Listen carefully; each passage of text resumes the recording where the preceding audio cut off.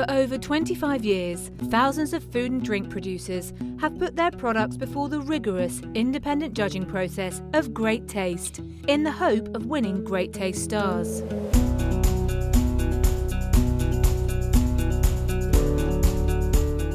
I tell people if you know it's got some stars, you should buy that if you can't decide what to buy. There's an expectation as a consumer when they see the stars on there that this product will do something special. It's that stamp of quality. The, the consumer gets uh, a helping hand when it comes to choosing fantastic products. Just to have the great taste stars on your product immediately gives you an elevation above all other products. Since 1994, the Guild of Fine Food has ensured the Great Taste Awards are run with the utmost integrity. That means blind tasting. Each entry is unwrapped or decanted, no branding, no product name is visible. The judges are working on the taste alone of the 20 products they try each session. The bottom line in these awards is always the same.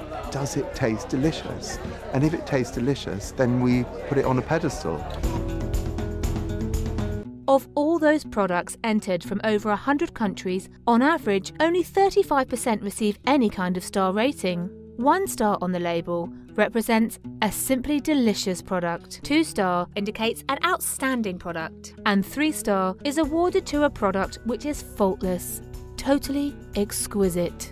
Three stars can also lead to consideration for a Golden Fork, the coveted national and international or category specific awards that help shine an even bigger light on the winner's business. I know lots of people who've, who've won the awards who've had their lives transformed, and not just theirs, the, the, the town that they operate in.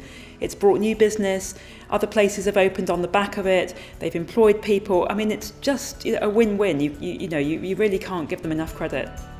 And of course, there is only one supreme champion. These winners are diverse, but united by one thing producers who really care about the products they make.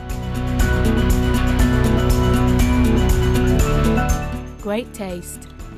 Food and drink with personality.